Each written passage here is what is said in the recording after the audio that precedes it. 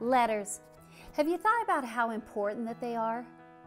James Wilson carried a number of valuable letters of recommendation with him, and through these connections, his life was changed.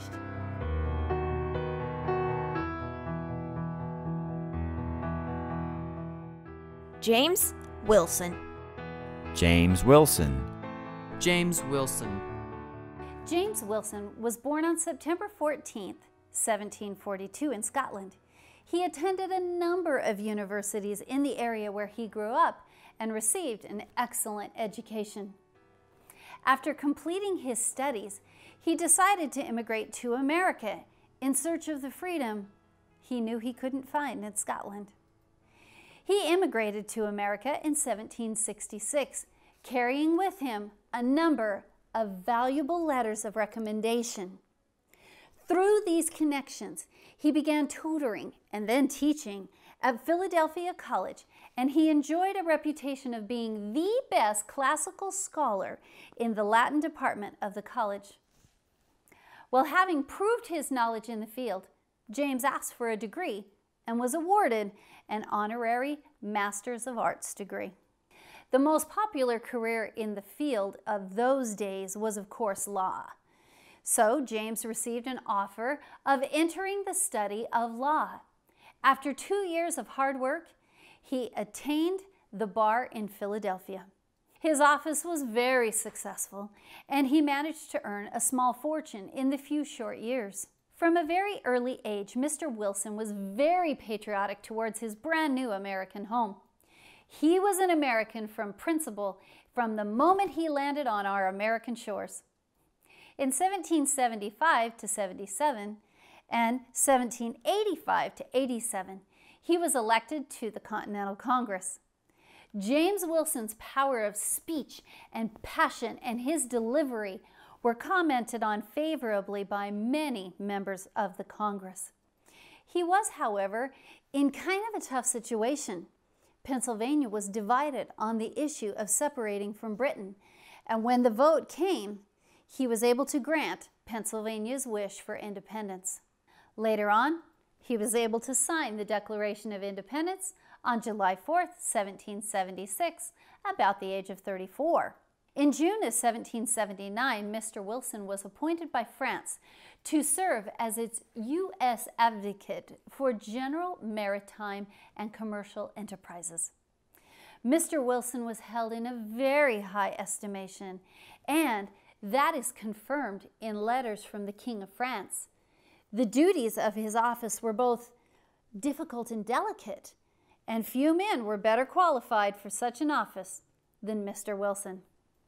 In 1781, there were difficulties as to the manner in which he should be paid for his services, and he ultimately resigned his commission, but continued to give advice and to minister to France. In 1781, Wilson was appointed a director of the original Bank of North America. In 1783, he was appointed by the President and the Supreme Executive Council in the great controversy between that state and the state of Connecticut relating to certain lands within the charter boundary of Pennsylvania. Well, they voted in favor of Pennsylvania thanks to the determination of Mr. Wilson and the impressive argument which he delivered before the court, which occupied several days.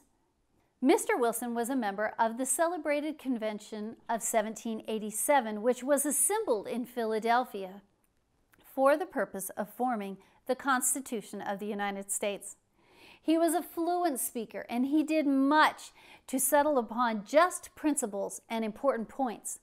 On the 23rd of July, the convention resolved that a committee consisting of Wilson, Rutledge, Randolph, Gorham, and Ellsworth, who reported the draft of the Constitution.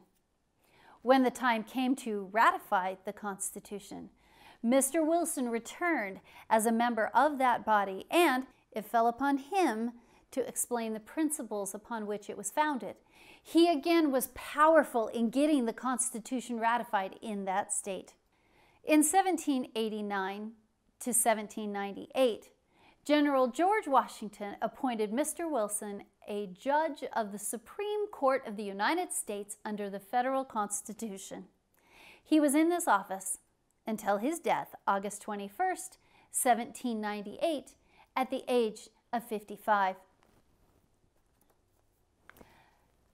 Charles Augustus Goodrich writes of James. Towards all with whom he had friendship from abroad, he was friendly and hospitable. And within his family, he was affectionate and indulgent. He was distinguished for great integrity of character and for an inviolate regard for truth. I want to give you a letter. Dear you, thank you for your caring nature.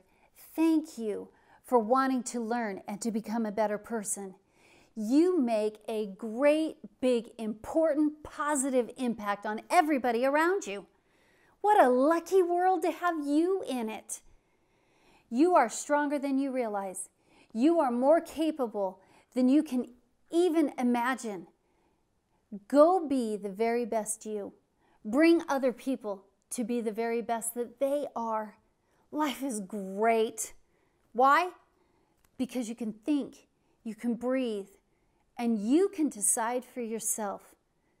Now that's freedom. When was the last time that you wrote a letter recommending or validating someone? Today is your day, and this is that moment. Go write a letter.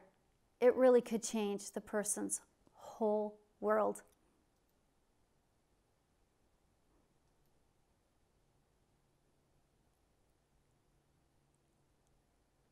The end.